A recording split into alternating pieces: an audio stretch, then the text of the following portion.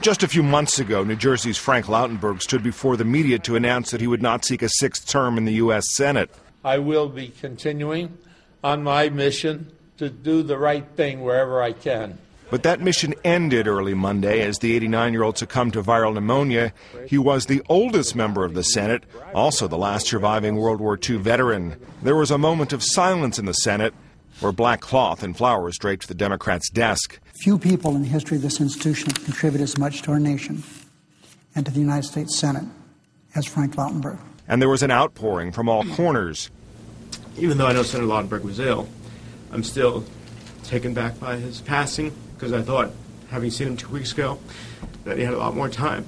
He was someone who fought and won uh, a lot of battles that today people just take for granted, like a ban on smoking on airplanes or progress for veterans. Even New Jersey's Republican governor praised the man he often tangled with. All of you who decide to get involved in public service should aspire to have the same things said about you in whatever role that you play.